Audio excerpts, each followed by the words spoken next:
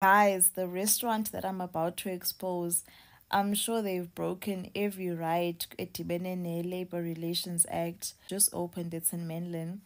I've been working there for a few days now. So what happened is I went for a job interview. I showed them my CV and my socials, and I was hired on the spot.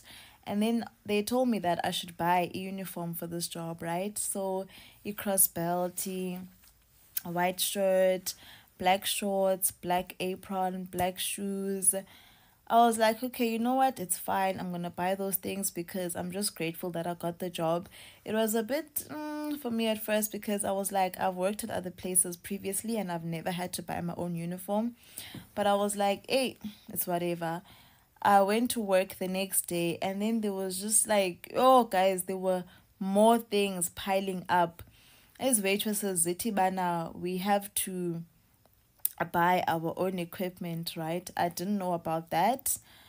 Um, so basically, equipment is a bottle opener, a cigar cutter, ndona enye, a cigarette lighter, cigar lighter, yeah, but like you, you buy all of these things yourself out of your own pocket. Mind you, I just spent a thousand rand on just the uniform, excluding alterations, excluding the transport fees, and now I have to buy the equipment myself. But I was like, you know what, it's fine. This was 10 years into because sebenza. I had all of these things within the second day that I was working there only to find out that there is no contract, there is nothing that is legally binding between you you and the restaurant you just go there you work. If you get fired you get fired because there's no contract more so so tin how are you going to defend yourself? That was the second red flag for me actually. And then they were like we don't have a basic salary. As not basic salary. You make imali liquid tips. This wasn't discussed with me prior. Ndiva ngoku emsebenzini make imali liquid tips there's like a mandatory tip of 10% that they bill to the customer. But even that 10% tip the restaurant the restaurant takes about i think it's 20% 30% i stand to be corrected something about breakage and leverage i don't know so glad 10% they still take imali etil and when you come into work, you have to pay what they call a runner fee, which is 200 Rand. So basically, a runner is someone that assists the waitress. And then you also have to pay your runner at the end of the night or maybe i don't know how things work but all of this seemed extreme to me especially considering the fact that we don't have a basic salary. So fine i worked there. My first day it was not smooth sailing because it is my first day. Yes i've worked at other places but it's my first time working here. I'm still trying to learn how things work up guys when i tell you what I went through at that restaurant, Zang, I have never gone through that in my entire life, even in my personal life. The way that they treat us, even the way that they talk to us, they make us feel less than, they belittle us. As in a break, you work from 1 p.m. up until 2 a.m. the next day. There's no break. You have to sneak maybe a Red Bull in the bathroom or outside in the corner, even if you're eating a pie yako. We like, unexhala ba a manager is going to walk in and scold you for that. It's so, guys, and I just felt like I had to speak up because there is no ways. I don't even know if the customers know that the employees are being treated this way. You know? But I was like, let me suck this up, yabo. Let me just try my best to make imali. But it's even hard to make kwalamali tips because you find that most of the managers they're friendly with some of the waitresses so you could be standing there whole day and not even get tables because they're giving it a afile kwiitshomi zabo wena awuzosebenza for example last week sunday i went home with a debt to the restaurant. I ended up having to owe the restaurant 20 rand because of leverage and breakage and whatnot. After working from 1 p.m up until 2 a.m i ended up owing them. Excuse me. For example today I've worked so hard, so hard, but just because andinikwa itafile eh, mna mhlawumbi customers will come they'll say no it." I feel like a bani leyana no a customer kabani bani you're like okay sharp sure I, I see how this is today i went home with a hundred rand good tips i went home with a hundred rand good tips today after working from 1 p.m. up until 2 a.m. And I was like, you know what? But it's okay. It's okay. So before work started, we complained that the cutlery are short, uh, you know, things are slow in the kitchen. Then they were like, we are losing the cutlery, therefore everybody is getting fined 200 rand.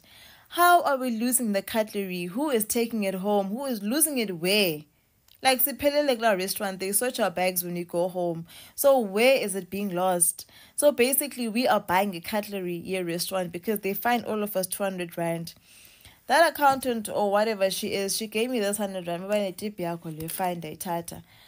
Then the manager came to me. She's like, Mihlali, we know you're not on the WhatsApp group, but we're finding everyone 200 rand. So ndimbuzo sisiba ndizayifumana phi because ndinike i-hundred rand my tips for the day. This is how much I made from working from 1 p.m. up until a.m. ndenze i-hundred rand. So ndizayifumana phi i-200 rand ye-cutlery fine. They're like, no, must like basically mandizame ndibanike because imali yabo I owe them.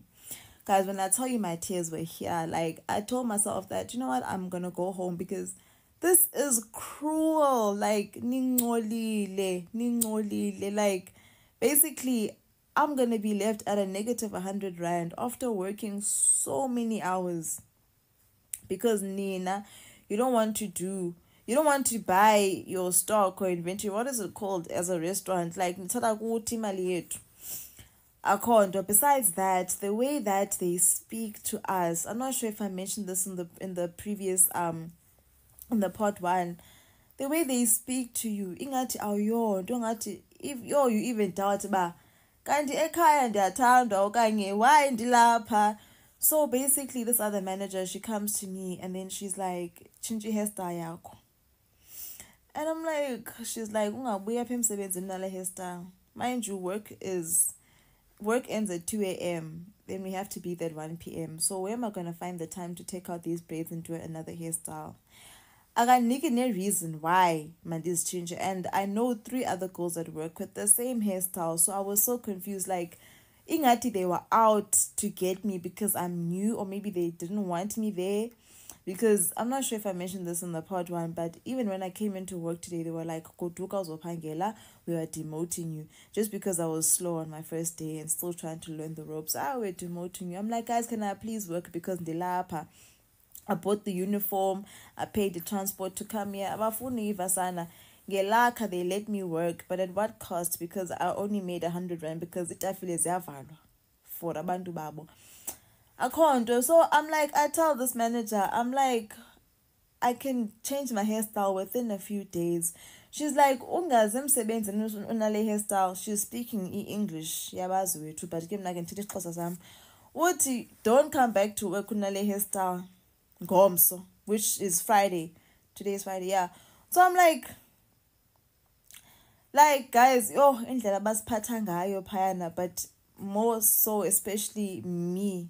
Like especially mna because ndimtsha andazi noba kwenzeka ntoni ipolitics aphayana but ibu ibuhlungu. Some other girls told me that before i worked there they called them for a meeting and they said that babi nimbatshe nemilenze babanike i-gift card zikamac bathengani i-makeup yenzani i-makeup nibabi how do you how do you say that to people? Like guys into yenzeka phaa ibuhlungu it's so painful and they fine us for everything. Ingathi benza imali your hair is not up to their standard fine. Your nails are not done fine fine fine for yonke into nje. Ingathi we are a few fueling the restaurant ndazi noba ndilibize kakuhle laa gama but ingathi sithi ngoku abaqhuba le restaurant yho. No guys i thought i should speak up because ibuhlungu into yenzeka phaa like yeah i need a serious investigation. I'm mhlawumbi ndim mhlawumbi ndisoft maybe i don't know how things work but no no ways. I the first day i worked there i came home with blisters bendisopha guys because my feet were so sore like but i told myself i'm going to work hard i'm going to prove myself but toxic like environment. They are so mean. The managers like mean girls on a hundred. I told myself mna anayile 200 ten ndizogoduka mna. The fuck off apha ndahamba ndagoduka guys. I like and now apparently they were looking for me saying i owe them. Tomorrow mandize nemali. Ubani? Ubani? Eyiphi endichola phi imali like basically I, I spent so much money.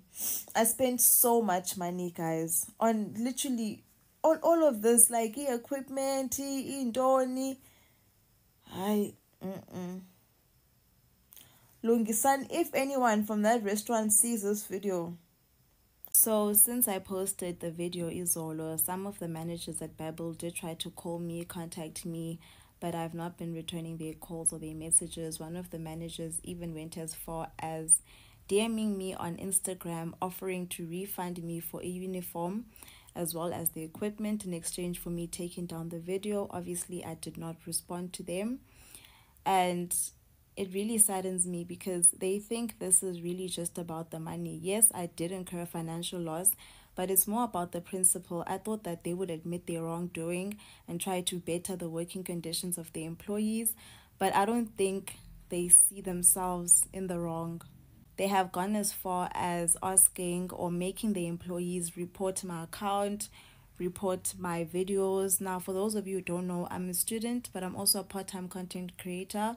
So apps like Instagram and TikTok, that's where I make a little bit of extra money. So them trying to get my account taken down is cruel because they are now taking my last source of income or at least trying to, but hopefully it's not going to work Yeah, so since I posted that video, there are abantu in my DM who have been sharing their testimonies telling me about the experiences that they have had at Babel and other restaurants and clubs as well. It's really disheartening and heartbreaking, and I really hope that these restaurants can make an effort to right their wrongs and better the working conditions of the employees because I just want to say thank you to you guys for all of the support. I see you guys in the comments, I see you guys leaving bad reviews under Google. You guys have even posted the video on Twitter, it's going viral you guys have made such a great effort to create awareness. So I really appreciate what you guys are doing because you're not only helping me, you're also helping the employees who are still working at Babel because mna I quit mos ansapangelipa. And I want to thank the people who have gone the extra mile because there are people in my DMs who've been offering me job opportunities, who've been plugging me with job vacancies, trying to lessen the impact of the situation that Babel has put me in. And I want to say thank you for the EFF, especially for the action that they are taking against Babel. They released a statement. They said that they're going to go to Babel to make sure that employees are passing employment contracts, basic salary, and whatnot. So thank you, thank you so much to the EFF. It just goes to show how united we are as a country and how powerful social media can be. So I just want to